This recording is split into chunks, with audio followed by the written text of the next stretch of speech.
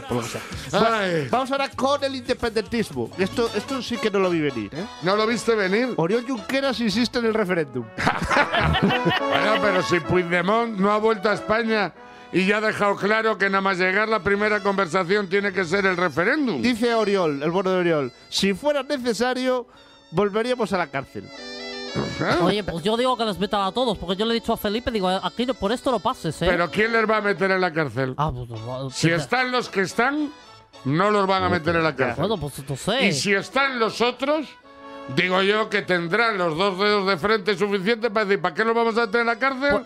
Si cuando vengan los otros los van a volver a Pues sacar. que Felipe Ya. levante el ejército, ¿eh? Claro, esto puede lo- ser. eh, yo creo que... Rajoy sí. los dejó en la La cárcel. cárcel a todos, sí. Rajoy los dejó en la Y cárcel. a otro en el maletero del coche. Eh, eh, mirad para qué.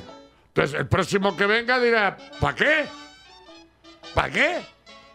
Ya, lo que pasa es que ahora ser candidato a la Generalitat es bastante sencillo. Quiero decir, el programa se resume en voy a hacer referéndum. Claro. y en educación, Pero en es que en sanidad... eso, perdona, ese es el programa de los independentistas catalanes desde 2010. Ya.